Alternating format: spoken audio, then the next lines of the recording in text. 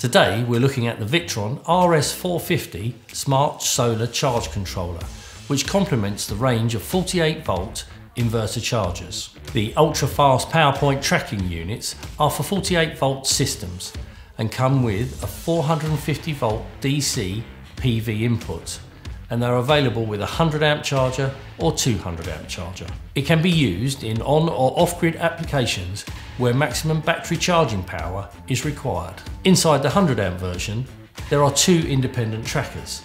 Inside the 200 amp version, there are four.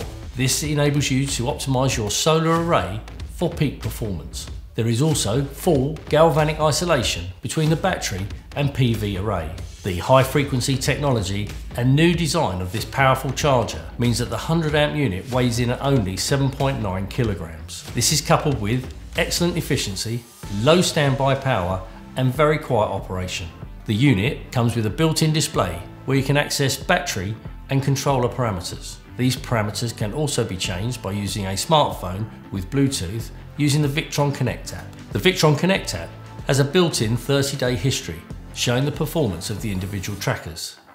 This is useful information when trying to optimise your system.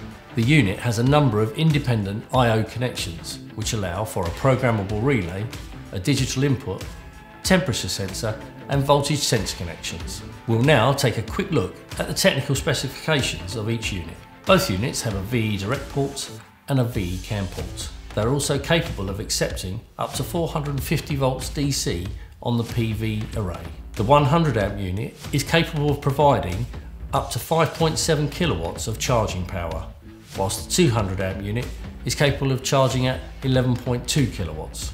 You can actually install 7.2 kilowatts peak of solar on each individual tracker for maximum performance. To access the connections, you remove the two screws at the bottom of the unit and remove the lower case. You will then see the battery positive, battery negative terminals, and then on this unit, which is the 100 amp version, you will see two trackers, positive and negative connections for each tracker. At the very left hand side of the unit, you will find the V direct port, the two CAN ports, and the connections for the I.O.